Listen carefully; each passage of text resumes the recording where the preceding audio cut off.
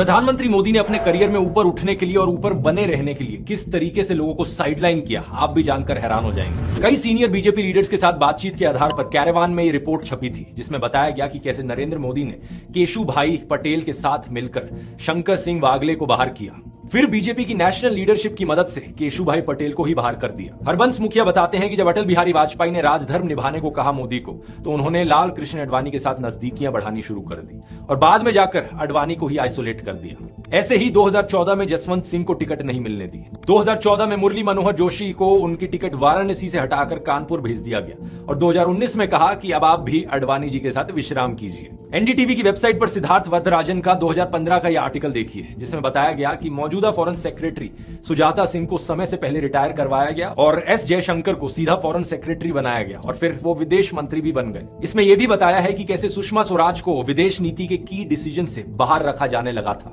The print पर 2019 का मौसमी दास गुप्ता का यह आर्टिकल देखिए। ये बताती है कि कैसे राजनाथ सिंह के सीनियर मोस्ट मिनिस्टर होने के बावजूद उन्हें आठ में से छह कैबिनेट कमेटी से ड्रॉप कर दिया गया था, एक स्ट्रॉन्ग मैसेज देने के लिए। लेकिन यही चीज़ नितिन गडकरी के साथ भी हुई। 2021 में नितिन गडकरी की स्टेटमेंट आई थी कि अटल बिहारी वाजपेयी और जवाहरलाल नेहरू आदर्श लीडर्स हैं। अगले साल ही बीजेपी के पार्लियामेंट्री बोर्ड से नितिन गडकरी को ड्रॉप कर दिया गया। अगला नंबर यहाँ पर किसका होगा? आपको क्या लगता है दोस्तों? नीचे कॉमेंट्स में लिखकर बताइए।